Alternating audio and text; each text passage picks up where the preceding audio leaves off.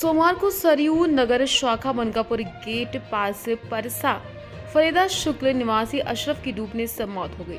सूचना पर उसके दादा इसात अली की सूचना पर पुलिस मौके पर पहुँची, शव को कब्जे में लिया और पंचनामा करा। बताया जाता है, बालक सरयू नहर पुल पर नहाने गया था।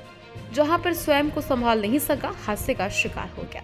दोपहर तक घर वापस न आने पर परिजन उसे ढूँढने निकले तो पता चला, बालक का शव नहर में पड़ा है। इसकी सूचना पर सैकड़ों ग्रामीण इकट्ठा हो गए, महिलाओं में कोहराम मच। चौकी प्रभारी मृत्युंजय सिंह ने बताया, परिजन कोई कानूनी कार्रवाई नहीं चाहते, कारण बच्चे की खुद से मौत हुई है। गोंडा से दैनिक भास्कर के लिए हरिनारायण शुक्ल की रिपोर्ट।